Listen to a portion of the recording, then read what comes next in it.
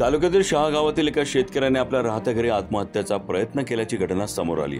पतसंस्थेच्या कर्ज वसुलीच्या जाचाला कंटाळून हा प्रकार समोर आलाय. या घटनेमध्ये शेतकरी हा पासष्ट टक्के भाजला असून त्याच्यावर नाशिक जिल्हा शासकीय रुग्णालयात उपचार सुरू आहेत. मात्र त्याची प्रकृती चिंताजनक आहे.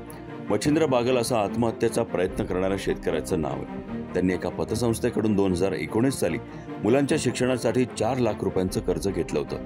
मात्र आर्थिक अडचणींमुळे कर्जाची परतफेड करणं शक्य झालं नाही.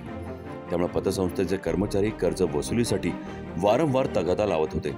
याच जाचाला कंटाळून मच्छिंद्र यांनी आपल्या राहत्या घरी स्वतःच्या अंगावर पेट्रोल ओतून आत्महत्या करण्याचा प्रयत्न केला ज्यात त्यांची प्रकृती चिंताजनक आहे. याबाबत वावी पोलीस ठाण्यात गुन्हा दाखल करण्यात आलाय.